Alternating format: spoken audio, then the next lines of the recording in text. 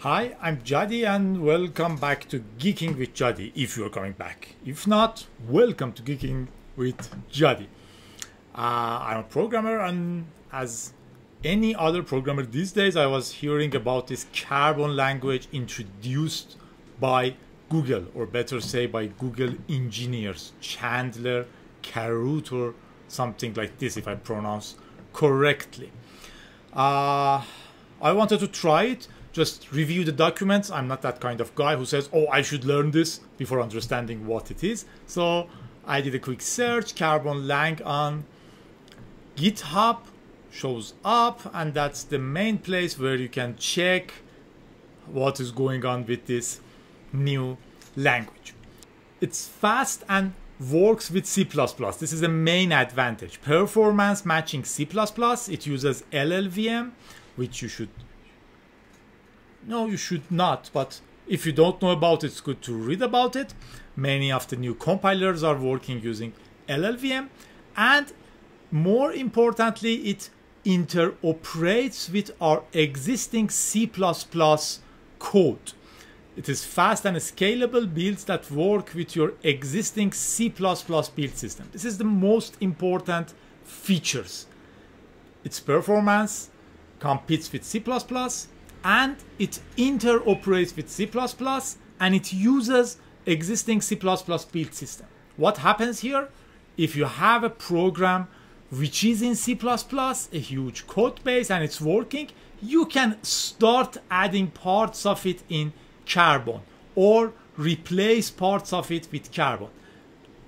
Pay attention, we are not talking about calling APIs from two different languages. You can call whatever API from whatever language. And we are not talking about remote procedure, what? Remote procedure calls, RPC calls. These languages can directly use each other's methods. This is a huge, huge advantage and in the same build system. So if you have a program which is working now in C++, you can just start adding carbon code to it. It is easy to learn, as they say. I'm not sure if it's easy for me or not. Rust was not easy. Uh, easy tool-based upgrade between carbon versions for sure, and safe, safer fundamentals, an incremental path toward a memory-safe subset. They say why we built carbon. They built carbon uh, because C++ remains the dominant programming language for performance critical software and many of the current softwares are working with C++. But it's accumulating decades of technical depth. This is a good word. If you don't know about it, search for it, technical depth. They created the language ages ago then they had to keep the backward compatibility. When they had the first version and they created the next version, they had to be able to run all these programs. So they had to keep it backward compatible. So doing an improvements becomes extremely difficult and they needed a modern language. There are modern languages. Go, Swift, Kotlin, Rust, and many others. And this Google engineer says if you know any of these and you are doing your project with this, absolutely fine and you are doing right. Carbon is fundamentally a successor language approach. It is continuing C++. Especially in cases where you have a working C++ project and you want to start using a more modern language without changing everything seamless bidirectional interoperator.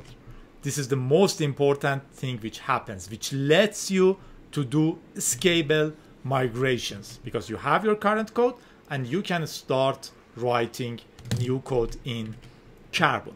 If you are interested in knowing more about it, first you should know that there is currently no working compiler or toolchain for the Carbon language. It is currently an experimental project, may change a lot, but it's good to keep an eye on it.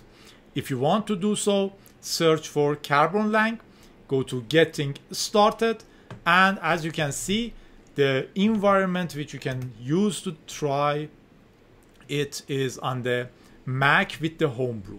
You will need Bazelisk, then you will install LLVM, you export your LLVM path, clone this repository, search for Carbon language on GitHub, and then you can use Bazel to run your programs.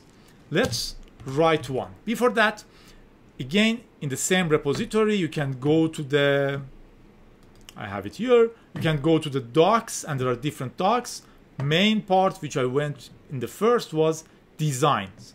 On the design part, you have different design aspects of this language. How classes work, how function works, how generics work, what are the control flows. For example, you can say how the conditions work. Conditions work on booleans. So you have to check if this is boolean or not. Not like C where you can say if zero, then something. Here you have to say if zero, sorry, what I did, zero equals zero. Whatever. You understood. Hopefully. Let's write a program and see how it works. Have a quick look to the docs, especially design, and you will see different things about this programming language. And then you can write a couple of experimental things to see how it works. For example, functions. Some people compare it with the Rust, which is totally wrong. The reason they do so is some parts of the syntax looks like Rust, like this fan, I46, this returns this function and this kind of stuff. But you have to compare it with C++. It has nothing to do with Rust as much as I can say on the design level. Anyway, let's write a small program and see how it works. What was the getting started? If you want to get started, write your program and run it with this. So I have it here. So I can write a program. I can say Vim, this was an Explorer, test data, Jadi Carbon. I can write my program here. It needs the package name, Coolnum. I'm writing a program to say print 1 to 20 and skip whatever is divisible to 7. I will write it not in the best way because I want to use a function and this kind of stuff. Just like C, you have a main function. It returns integer 32 bits. So this should be my smallest program. Return 0. This should work. Let's divide the page. See the W, see the carbon lang and then what we had bazel test data Jadi. This bazelisk will download some things you need to run your program and these kind of stuff and then will run it in an experimental environment in this uh, carbon thing. While it's working, I will write some other parts. So I want a loop we just saw the while loop you can do a var so i'm defining a variable if you want to define a constant you will go with let var i type is i32 integer 32 bits i can say auto i think at least based on the documents then i will say while it needs a boolean so i say while not i equals 20 continue. I'm not sure if has I++. Let's test. I++. Plus So I will have print, print with capital and print the first parameter you get. Let's see if this works.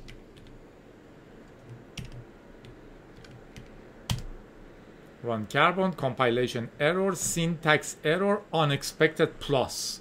So maybe it doesn't have this. Let's try this.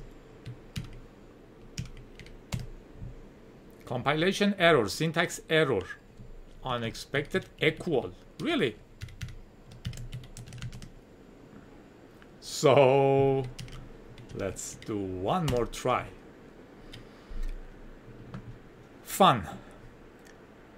Control flow reaches end of function that provides a return type without reaching a return statement. This is always good to see the errors, how you can understand them, how clear they are, and the total winner is Rust, the best errors I've seen in a while. Uh, next, let's run it once more. Unexpected integer literal, expecting equal or semicolon. Where is that? Compilation error, line 9. Return 0.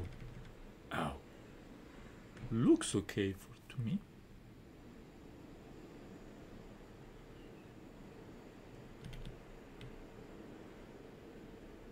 Equal or semicolon? Ow! What is this? Maybe this is it. This shouldn't be the one. Because that's a boolean and it should work. So we have a function main. It returns i32 and we say we have a variable which is i equals 0 while not i equals 0 print this what is this? Return. Not a very good error. What is experimental? So now we are writing all the numbers. Now let's define another function to find out if this is a cool number or not. Cool numbers cannot be divided to 7. Is cool. We say I have x uh, type i32 and I will return a boolean. Interesting. Then I will say if x dividable modulus 7 is 0, you need a boolean. You cannot have an int here. Return false. Else return true. Let's see what happens if I compile it now. Normal compile no complaints that you have a function which is not used. So I can here say if is cool. Number i. Print this. Then continue. Now we have our working program not showing 7 not showing 14 and not showing anything else. It's working. So you had a look on how to program with this. It is always a good idea to try new things, see different uh, ideas people had behind their programming language. Uh, famous person have told that, have spoken that programming language should introduce new ideas.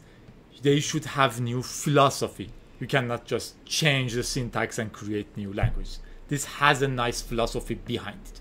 And for sure, the creators are saying that you don't need to start using it unless you have a C++ project. And even if you have, this is still highly experimental.